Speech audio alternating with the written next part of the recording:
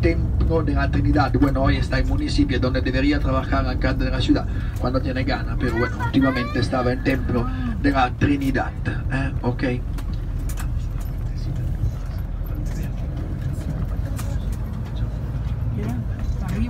A ver, antes de ver el monumento blanco aquí a mano derecha, información técnica. Si alguien vuelve al hotel, quiere al hotel, cualquier cosa, y se queda libre en la tarde, todo esto, aquí a mano izquierda, 46, miren el bus 46, va hasta el hotel. ¿Mm? Ok, 46 de Plaza Venecia, Plaza Venecia, Plaza Venecia, ¿eh? ok, ok, mano derecha. Monumento blanco, enorme, gigante, è un monumento de Víctor Emanuel II. Señores, la estatua a caballo que está en el centro del monumento es la estatua del primer rey italiano, Víctor Emanuel II. Mano derecha, mano derecha, mano derecha, mano derecha. El monumento todo hecho en mármol. En este caso no está hecho en travertino, esto no es piedra, este es mármol todo hecho en mármol. Eh, señores, fue construido en 1870. Bueno, fue comenzado en 1870 cuando Roma fue hecha capital italiana y lo terminaron 50 años después con Benito Mussolini en 1920. Ok, en el centro, miren ahora a mano izquierda. Miren a mano izquierda, miren a mano izquierda, mano izquierda, mano izquierda, mano izquierda, mano izquierda. Benito Mussolini en 1920 puso allá la tumba del soldado desconocido. Señores, miren encima de los escalones de entrada que hay. Eh, ok, sí. Se turnan, oh, claro, claro, se turnan cada dos horas durante el día y cada una hora durante la noche. Eh, ok, y cada semana cambia ejército, aeronáutica, marina. Eh, ok, se van turnando en la tumba del soldado desconocido. Señores, este monumento que está hecho en mármol no va a durar seguramente todo lo que duró el Coliseo. Porque el mármol es duro. Es una piedra, es mármol, está muy duro. ¿Por qué le dicen soldado desconocido? Soldado desconocido o altar de la patria. Bueno, mi abuelo lo llamaba pastel de boda, tarta anunciada, elefante blanco macho. Allá en- hay una escalera que es la famosa escalera santa, la escalera de entrada del palacio de Poncio Pilato en Tierra Santa, la escalera que Cristo bajó y subió varias veces en su último día de vida. Mano derecha, mano derecha, mano derecha. Mano derecha, mano derecha, mano derecha, mano derecha. Hay una iglesia, la fachada principal de San Juan de Letrán, San Giovanni in Laterano. Reconstruida esta iglesia en 1735 por orden de Papa Clemente XII, en la Catedral de Roma, en la primera iglesia del mundo. Fue casa de los papas hasta la peste bubónica. Habrán escuchado hablar seguramente de la peste negra, ¿no? ¿Se acuerdan la famosa máscara de la peste de Dante Alighieri, ¿no? Señores, los papas con la peste, Venecia, Florencia, Roma. En cuanto la peste llega a Roma, los papas, adiós, se van, escapan. Ok, ¿se van dónde? En Francia, abandonando San Juan. Ok, dejando la Catedral de Roma. El Coliseo è 80. Significa che Neroni il Coliseo, mira la mano derecha Santa Maria. Significa che Neroni e il Coliseo non si hanno visto.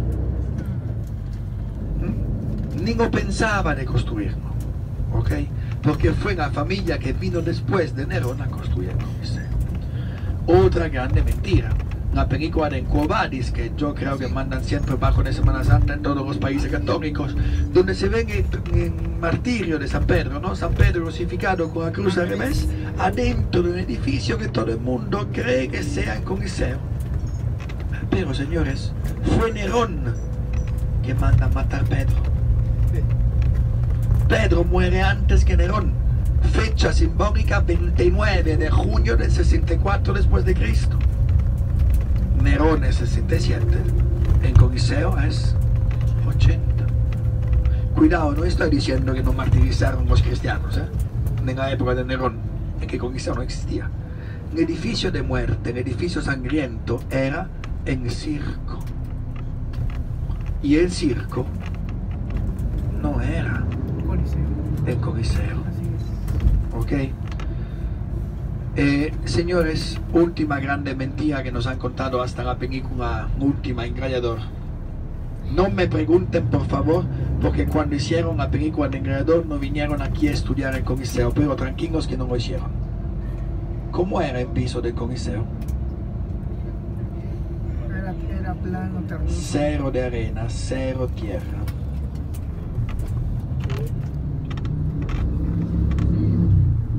En piso del Coliseo era todo de lugares. ¿eh? Anfiteatro Flavio. ¿Ya lo viste? Acá, aquí. Miren, mano derecha, mano derecha, mano derecha, mano derecha, mano derecha. La parte buena, la parte mejor conservada. Si alguien se está preguntando cómo era el Coliseo, el Coliseo era así como lo ven ustedes a mano derecha. Tres pisos de arcos con último piso que tenga ventanas rectangulares. Así era Anfiteatro Flavio. ¿Ok? Todo hecho en piedra. 5 millones de bloques de travertino. Adentro está más sucio. ¿Se dan cuenta que adentro está negro? Porque cuando el dueño del equipo de fútbol de Florencia financió la limpieza del Coliseo, han dicho que estos 25 millones de euros fueron suficientes únicamente para limpiar la parte fuera. Ok, atentos, mano derecha, siempre mano derecha, un poquito más adelante hay una esquina de ladrillo. Miren, miren, ahora se ve una esquina de ladrillo, señores. Miren aquí, miren aquí. Una esquina de ladrillo y a dónde cae el coliseo. Miren adentro, por favor. Un arco enseguida después de la esquina, miren dentro. Bueno, en la tarde vamos allá, ¿eh? Pero miren allá, miren. Miren, miren, miren. ¿Cómo era el piso? Miren. Nada de tierra. Si fuera de arena, la arena todavía estuviera allá. Y no hay nada. Mano derecha, la parte fea, la parte que yo llamo la parte peor conservada. Señores, hay una cosa, miren cuántos agujeros. ¿Por qué tantos agujeros? Nada de guerra, nada de armas. Se robaron todos los clavos de hierro que unían la piedra. Señores, el Coliseo fue construido con macho y hembra. No, no han reconstruido la parte de ladrillo, es toda la parte reconstruida por orden de Papa Gregorio XVI. El ladrillo no existía en la parte de la época del Coliseo. Entonces, todo completamente hecho en piedra. Y macho hembrado, un segundo ahora le explico, mano derecha, arco de Constantino. No quiero escuchar nadie que llame este arco arco de triunfo. Un arco de triunfo ya lo han visto. ¿Dónde? En París y allá se queda. El pobre Napoleón que se construyó un arco antes de triunfar. Después, eh, a ver, señores, ¿qué era el circo? Cuidado, ¿se acuerdan que se dice pan y circo? Y no se dice pan y. En circo es 409 antes de Cristo. En coliseo es 80 después de Cristo.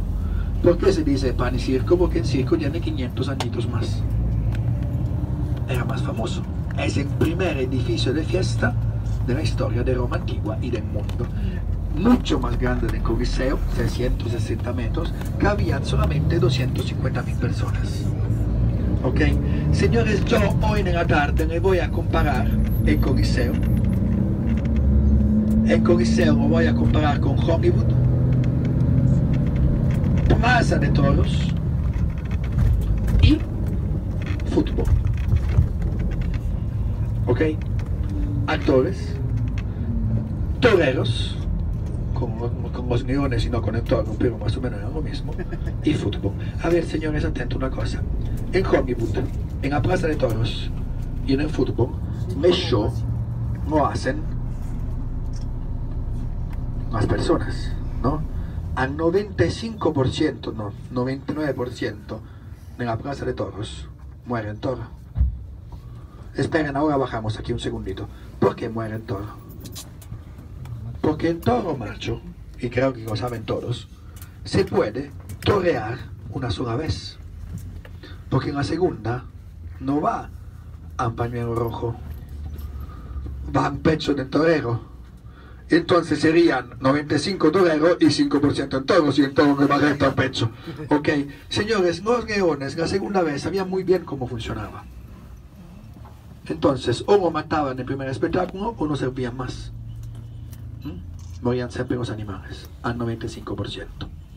Fútbol, personas. Circo. ¿Perdona? Eh, no sé, puede ser, puede preguntarlo. Eh, mano derecha en Capitolio, eh, ok, eh, siempre Monte Capitolino. Tiene que preguntar, tiene que pensar que la familia Orsini hoy es dueño de los cuatro bancos más importantes de Italia, entonces puede ser que te ayuden con un crédito. Ah, ok. Eh, a ver. Entonces, volvemos a las informaciones técnicas. Me, di- me dijo Sergio que algunas personas que no vienen hoy en la tarde a la visita. Entonces, por estas personas, aquí a mano izquierda, como decía antes, ¿no? Plaza Venecia, 46. O también en 916. 46 y 916 llegan a la Plaza Cornelia, que está justo detrás del hotel. Eh, ok. 916, 46 y 916. Plaza Venecia, que se llama Venecia por el palacio que está a mano izquierda, Palazzo Venezia, que es donde vivía Benito Mussolini durante sus años de dictadura. ¿eh? Kilómetro cero de Roma moderna. Sí, aquí a mano izquierda. ¿Se acuerdan que hay películas donde se ve que Mussolini hablaba de un balconcito al pueblo italiano? No. A ver, señores, Italia en esta punta, en la otra torre, azul con las, dos estrellas de la Unión Europea. ¿no? Ok. Señores, cuando nace el país Vaticano, 11 de febrero de 1929, el castillo que era la fortaleza del Papa no entra a formar parte del Vaticano. Se queda Museo de Armas Italiano. ¿eh? Ok. Eh, a ver, señores, una cosa. Todavía existe el famoso pasaje. No es el Papa,